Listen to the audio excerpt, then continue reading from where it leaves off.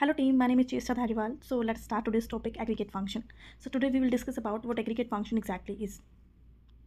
Please find definition of aggregate function. An aggregate function summarizing data to multiple rows into a single row. An aggregate function is like a super tool of numbers in a database. Commonly used functions are count, sum, average, maximum, minimum. So it's like having a calculator for group of numbers. And examples, some functions, we can say that it's a quite straightforward. It's add of the elements in a list. Average functions is the average value of the list. And we can see the example as well. Maximum functions finds the maximum value of the column.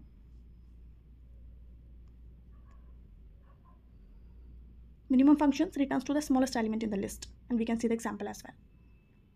Count functions is handy for task for counting how many times the specific words appear we can say that the visualization plays an important role in our data analysis. So conclusion is like aggregate functions are powerful tools in summarizing and analyzing data.